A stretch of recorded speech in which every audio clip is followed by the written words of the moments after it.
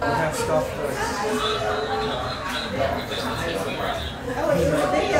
Hey guys, uh, we're at DC Pop-Up Swim Week and this is Lotus Diamonds and we're here representing Diamond Jewelry. We're trying to create a change in Miami and not only Miami but all of America. We're trying to bring back investments as diamond jewelry. That's our whole spiel.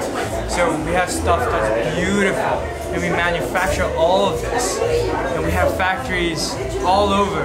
We have factories in Bangkok, China, Hong Kong, and India, all to manufacture beautiful pieces at cost-effective prices that don't lose value.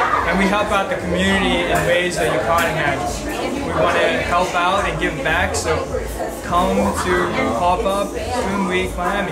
The type, the type of jewelry Lotus Diamonds specializes in is customizable and fast fashion design. So all of these pieces you see that we have in our pop-up events to get changed the next event that comes around. That's fast fashion, fashion that we, picks up and the stuff that really does well sticks with us for long. There's a lot of people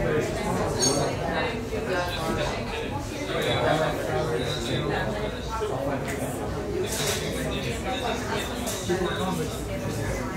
We design jewelry from the basic, most basic step, which is procurement of raw material, all the way to the end user and help the user for the lifetime of the jewelry piece. We have tons of customers that come to us from all different kinds of backgrounds. We have customers that come and want bracelets customized with letters. We have customers that come with no knowledge of what jewelry is.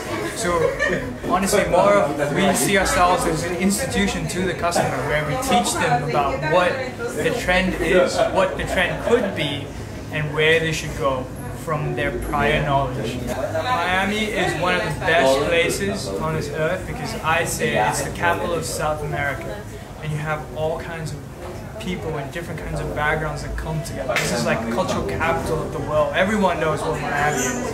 And we, we do business in the best place, in downtown. We have an office there and we like to really take the client's information we like to hold private meetings with the client. But not that, we travel.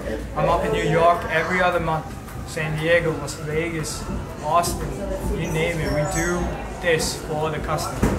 We have a team that goes out and selects designs and chooses designs, but honestly, it comes from within. It has to come from the individual that puts his money behind the design, right?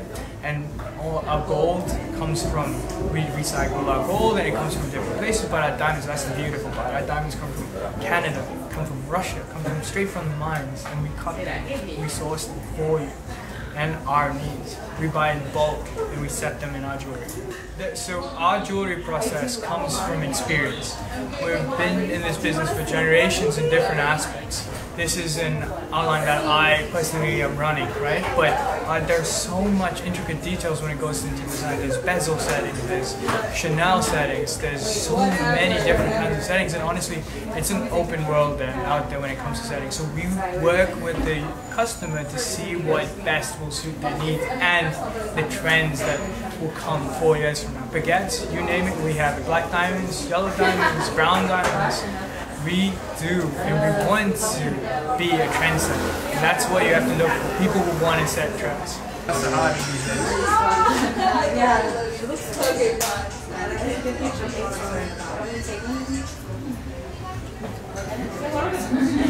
Stuff